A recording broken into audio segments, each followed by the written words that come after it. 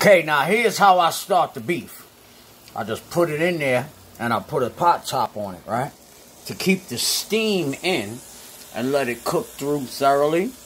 Because once I do that, the water on the top is going to keep going back down and it's going to keep regenerating itself. Then eventually, after I feel that the meat is cooked enough thoroughly through and through, I'm going to pour all of the juice off and then start to burn the meat just a little bit. You know, burn it and turn it. That's your man Shizzle with that burn it and turn it technique.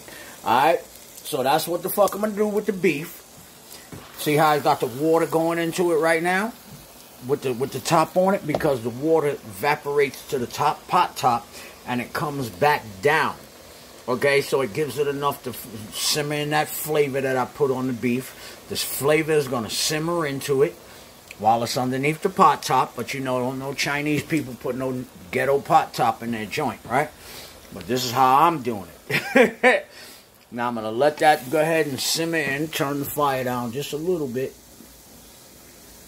And let it just simmer in. Let that meat get nice and tasty and soft. Then I'm going to add my broccoli and I'm going to add my, you know, my vegetables to it.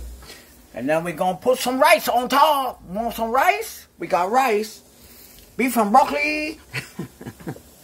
so we're going to put something. Well, I ain't going to put the broccoli in there and mix it around because it's just going to mess up the trees. And Hota Hota likes broccoli, the tree. You want some trees? Mm. I'll be laughing. He'll saying, I want some trees, Daddy. I'll be like, mm, shut up. but it's your man Shizzle. One time for your mind, two times for your soul.